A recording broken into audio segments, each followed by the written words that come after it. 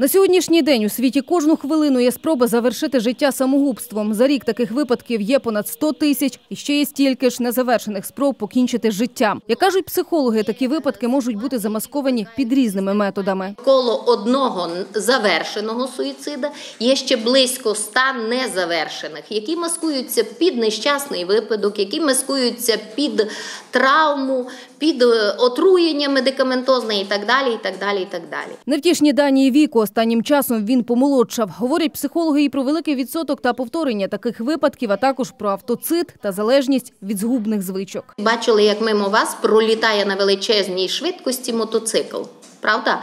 І автоцит. Це транспортний засіб стає дуже і дуже таким е, цікавим засобом для закінчення життя.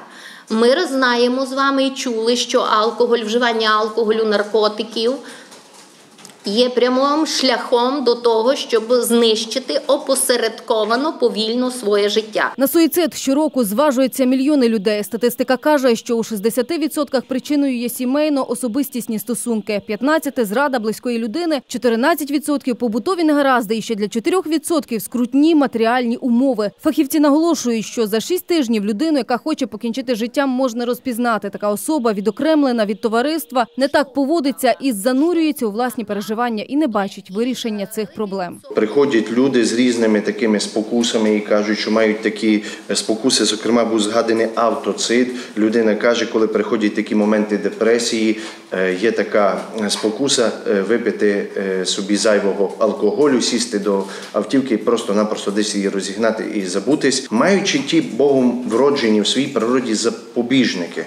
Вони не спрацювали, то значить потрясіння людини настільки було великим, чи то хвилювання, чи то якісь інші фактори, що людина повністю не відповідала, не була адекватною у цей момент щодо свого стану. А щоб уникнути подальшого зростання суїциду, вирішальну роль має наявність телефонів довіри та центрів, які б могли давати консультації хворим. Такий центр вже у кінці вересня може запрацювати і в Ужгороді.